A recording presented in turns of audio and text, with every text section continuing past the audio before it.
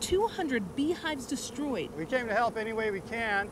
Tens of millions of bees now buzzing along I 80 near Promontory. Unfortunately, it's uh, probably going to be a complete loss for the beekeeper. Beekeepers from Wasatch Beekeeper Association rushing to help, but ultimately feeling helpless. We've been slowly going through the hives looking to see what's been damaged, what hasn't, and unfortunately, more is damaged than not.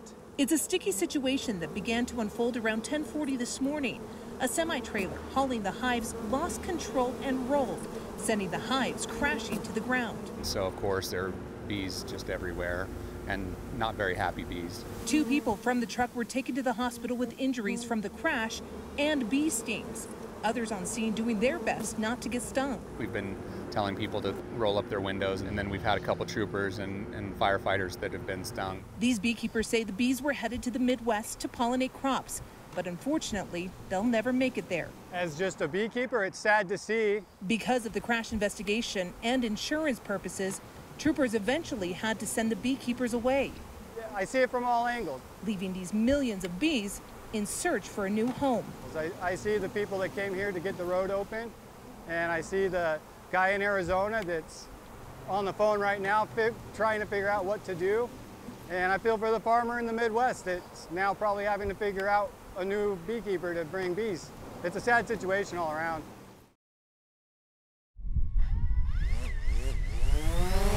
We're always trying to make our officers more efficient. A drone does that. It enables fewer officers to accomplish more investigative work. You can see from our drone how it expands the terrain the operator can see. Captain Chad Bettridge helps oversee operations at the DWR.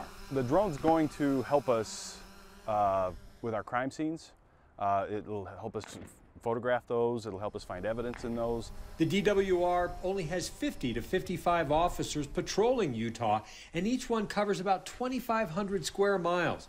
The five investigators with the new Unmanned Aerial Systems team had to complete licensing and training requirements with the FAA to become certified on the drones. They are now stationed across the state. Making us a little quicker more efficient. Last week, a hunter went missing in the Uinta Basin. Bettridge tells me they could have used a drone on that. They plan to assist other agencies with search and rescue.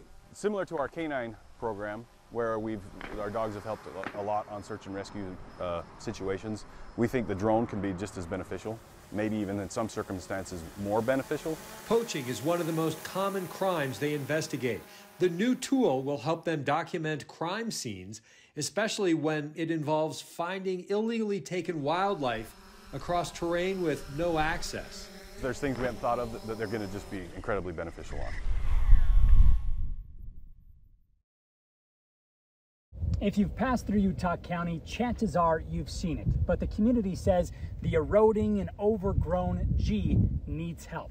And they say it's about much, much more than the view. It's the only view of Little Mountain. It's just something that has always been part of our community. Just about everyone alive today has ever known. So we know when we're home because we see the G on the mountain. A landmark that over the decades has become something more for Lisa Young. Home is definitely where the G is. And the community. It just means so much to all of us here in Pleasant Grove. And it has quite a history to it, and people don't realize that. Mayor Guy Fugal says in 1920, students at Pleasant Grove High wanted a school symbol for all to see. It started out as just gathering some rocks and whitewashing. The G almost disappeared in 1978, and some wanted it removed, but citizen groups saved the letter. It's a little steep. Today, we hiked the popular trail to get there. But you know what? Anything hard, in the end, it's worth it, right? But the closer you get, the clearer it becomes. And the G is worth it. The G isn't what it used to be. Plants cutting through steel mesh, cracks in the concrete, and erosion exposing the rebar. Oh, yeah. The G's not coming off the mountain. It was enough for Young. Not during our watch. We're going to take care of it. To push to restore and upgrade the iconic letter. There's a lot of work that needs to be done. It's no small project. The rebuilding, adding LED lights and solar panels, and transporting it with helicopters carries a $700,000 price tag. We want them to know it was built on the backs of all of our alumni. That's why they're asking for donations and volunteers. We're all alumni, and now we need to carry that torch. to unite the high school and community around the cause. We really want to make it so it's going to stay there for another hundred years. To restore what's become part of their home. Because it's the symbol on the mountain. The mayor says they're already more than halfway to their donation goal. They expect approval from the Forest Service and then to start to get to work by the fall. Matt Rascon, KSL 5 News.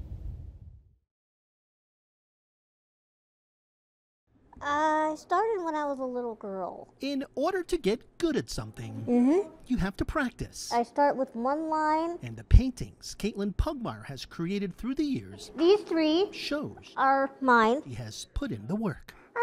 It just became a natural talent. Easy for her to say when horses most people might try to paint end up looking like dogs. for Pugmire, though, it's more the act of painting rather than the outcome that's truly special. And sometimes, even when I'm listening to music while I work, it broadens up an inspiration and just lets me drift. You see, Pugmire often visits the Work Activity Center in West Valley to just create. It's a place for any adult living with a disability to do activities and have fun with others. Any way that they're able to express their feelings, their emotions, their wants, their needs is important. And especially some of those deeper feelings that are hard to express, even in words, they're able to put on canvas or on paper. Like one artist who wanted to express climate change. And that's exactly what that says. That painting and the others will be sold next week during an art show to help fund the creative arts program here. Yes, these are my babies. For Pugmire, she says she's happy to do her part in making sure this program continues. All that practice wasn't for nothing. This is a good way to say this is what I can do. Please allow me to show you more. Go one, two, three, keep smiling. The easiest way to make friends at a national park There, thumbs up. Awesome. is to offer to take their pictures. All the pretty faces. Say cheese. Cheese. It's the least we could do Perfect. All right. Appreciate it, guys. since many of them came from far away just to see Yellowstone and can't. We came from Indiana, like what, 1,700 miles. So and far. We got to Bozeman and found out the park's closed. That flood was enough to dampen even the best laid plans. Totally unexpected. Disappointing, but we've made the best of it. And making the best of it We're thankful to be here, and it's a gorgeous day. is what everyone we met told us they were doing. Still got to have fun. We've, we've taken advantage of some of the uh, surrounding area here at West Yellowstone. We've actually seen some wildlife uh, down on 20 near Henry's Lake, so it, it's, it's still been a great trip. Even though they couldn't get into Yellowstone, any national park fan will tell you if you take a picture by an entrance sign, it still counts Exactly. that you were there. That's right. We was here. We've been here. These aren't quite the memories they were expecting to have, That's the closest we can get, I'm afraid.